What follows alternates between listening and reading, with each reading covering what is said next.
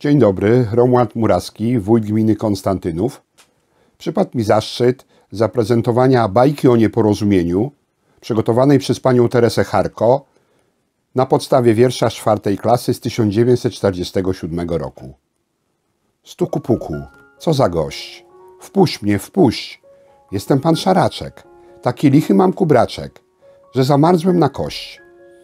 Wejdź do chaty, wejdź nieboże, zaraz drzewa w piec nałożę. Jestem parobeczek tani, za kożuszek, za barani. Cóż ty umiesz? Jak to cóż? Pracowałem całe lato, nad kapustą, nad sałatą, a w zimową znowu porę obgryzałem z drzewa korę. To tyś mi poniszczył sad? A szkodniku, a nie cnoto, ogrzej się i ruszaj w świat. Pewna rodzina była bardzo biedna. Rodzice mieli dwóch synów.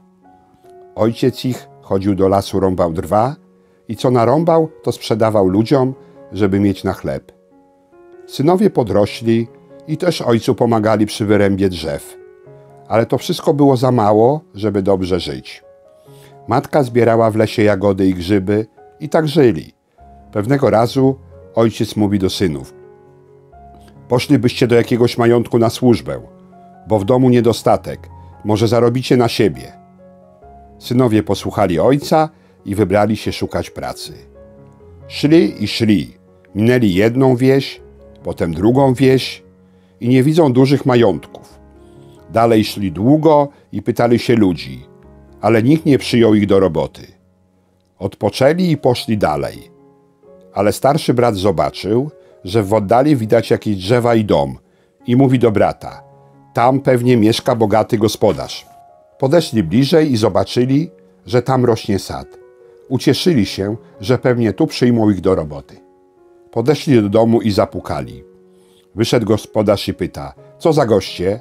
A oni odpowiadają: Szukamy pracy, bo jesteśmy biedni. Pyta więc ich gospodarz: A co wy umiecie robić?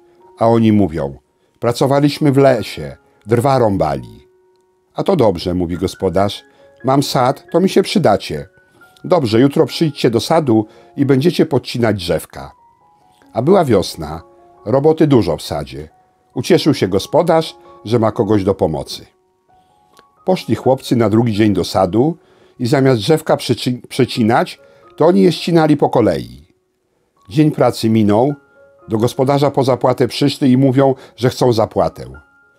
Gospodarz wyszedł przed dom i patrzy, a sadu nie widać. A to co? Zdziwił się gospodarz i zaczął krzyczeć, że im za nic nie zapłaci, bo zniszczyli mu sad.